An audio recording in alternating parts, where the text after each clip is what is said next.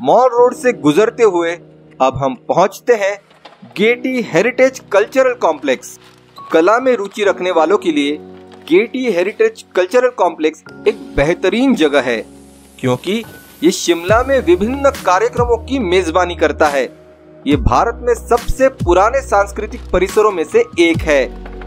122 साल पहले के अपने इतिहास में शिमला में गेटी हेरिटेज कल्चरल कॉम्प्लेक्स को एक प्रसिद्ध ब्रिटिश वास्तुकार, हेनरी इरविन द्वारा अठारह सौ सतासी में विक्टोरियन गॉथिक शैली में डिज़ाइन किया गया था।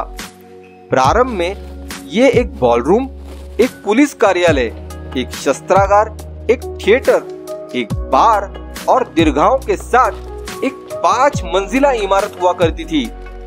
हालाँकि इसके निर्माण के दो दशकों के बाद संरचनाएँ बेहद असुरक्षित और अस्थिर पाई गई। इसी के चलते अधिकांश हिस्सों को बाद में अंग्रेज़ों ने ध्वस्त कर दिया।